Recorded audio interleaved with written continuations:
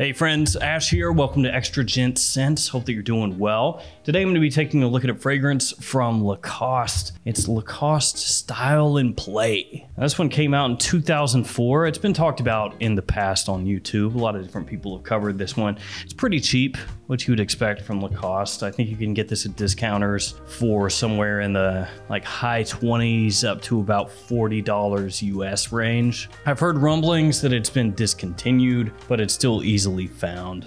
I've had my bottle for a really long time, so I don't have the box anymore or anything like that. Just this little bottle here, so that'll have to do. So let's go ahead and let's jump into it. Let's talk a little bit about Lacoste style in play. I'll let you guys know why this is a fragrance that you should have on your radar. So let's jump into it.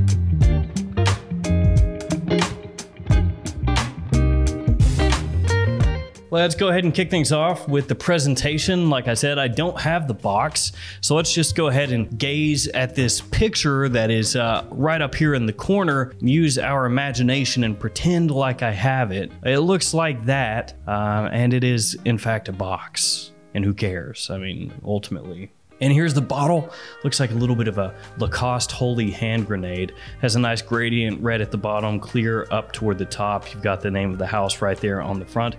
Has these little indentations on the side of the bottle. On the bottom, you've got a sticker with your batch code. My batch code is 6159 and the cap clicks into place. And because I love you guys, I'll go ahead and waste a couple sprays so you can check out the atomizer in action. Here we go. It's uh, it's an atomizer, and it's okay. So as I said, this one came out in 2004. Perfumer is Annick Menardo, and if you're familiar with a lot of her work, when you spray this fragrance on, you can tell pretty much immediately. It's got her her signature to it, a little bit of her, her fingerprints all over it, you could say. Now it's a Lacoste fragrance, and uh, that should tell you the type of scent that it is. It's a fresh scent. It's a little bit sporty, like most of their releases, but this one I think has a little extra something something to it, especially when you consider the price like I said earlier, you can get this for under $30 a lot of places still yet. So it's what I would consider a cheapie. So when you first spray this on, you get hit with a fruity blast of green apple, but it doesn't smell just like green apple. It's actually got a little more to it, a little extra something something, a little density there. So while it is fresh, it also has a little bit of heft to it in the opening, ever so slightly, like a hint of dustiness, almost like a, a, brushing of plum is put in there with the green apple, though officially apple, I think, is the only fruit in the open. And then you've got this great kind of musky woodiness that comes in behind that apple, behind that fruity sweetness in the opening, and gives it a little more depth. So it doesn't just come across like this boring, generic gym fragrance or shower gel fragrance or anything like that. This is a fragrance that actually, for a little while, kind of wrote off, wasn't all that interested in checking out. Part of that is because it's Lacoste, part of it is because the name just didn't didn't really mean anything to me. It just, you know, was style in play. And what, what does that actually mean? I guess you could say it means that you're stylish while having a good time or something, but when it first came out and for a number of years afterward, I just didn't didn't really care. But then when I finally got around to picking it up, because again, it's, it's cheap, I was pleasantly surprised. It's actually got a bit of a nostalgic feel to me. So when I smell this, it definitely does smell a bit like a, a fragrance from, uh, you know, a couple decades ago, which at this point is what it is. But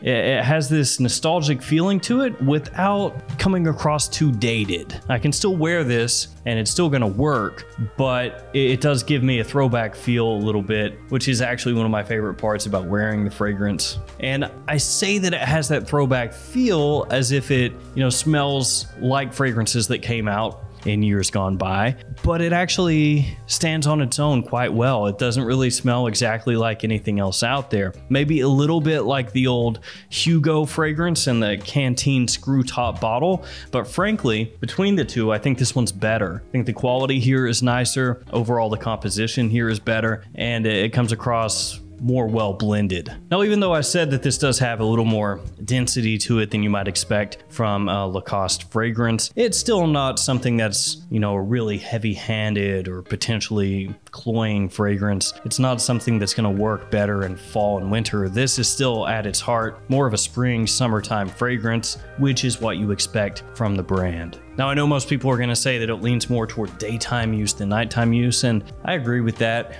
overall, but I think that this does work during the night just as well as the day, frankly. So for me, it's one that you could wear either daytime or nighttime. It's a good casual scent, office safe as well. So a good amount of versatility here too.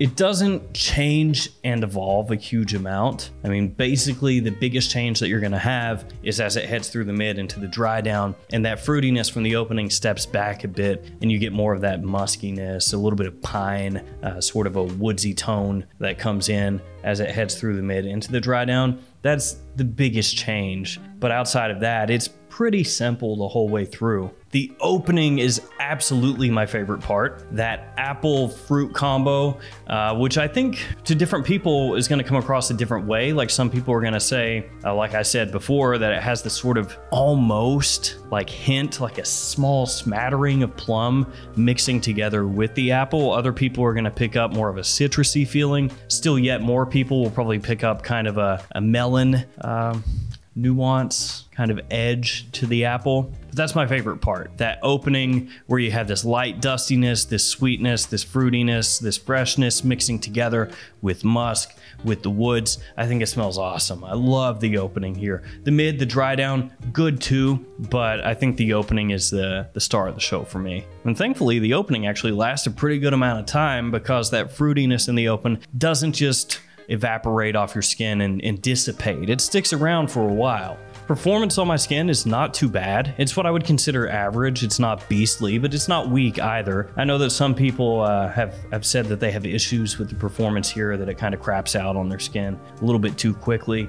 Thankfully, I don't have that issue here. It could be that newer batches of this uh, maybe do have worse performance, but this one's pretty good. I would say off my skin about six hours in terms of longevity. Projection is right in the average range. As I said before, not massive, but definitely uh, enough projection that people are going to be able to pick this up pretty easily as I move around or as they go by me, you know, your, your average stuff. So it's completely fine. And for a spring, summertime fragrance that most people would consider a daytime scent, I'm more than happy with the performance here. No issues at all. Lacoste is one of those houses that has a little bit of a soft spot in my heart because they don't cost all that much from discounters typically. I mean, some of their fragrances cost a little more than others at discounters, but by and large, you can pick them up pretty cheap.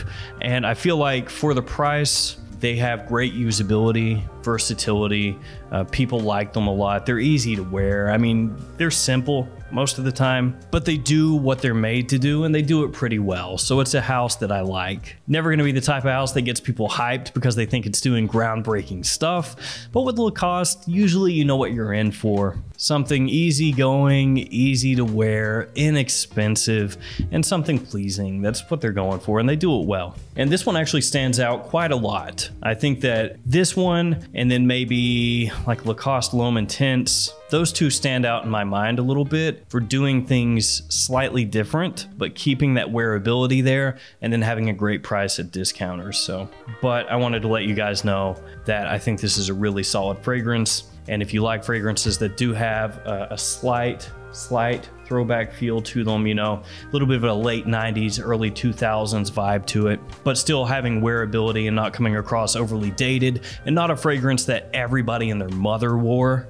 that you can pick up for a, a cheap price that has decent performance and uh, good versatility that people like you should check this out. So there we go, Lacoste Style in Play. If you've smelled that one, let me know in the comments below what you think about it, if you like it, if you don't like it, all that good stuff. Thank you guys for hanging with me here today. Stay safe out there. I'll see you all tomorrow with another fragrance video. See you guys later.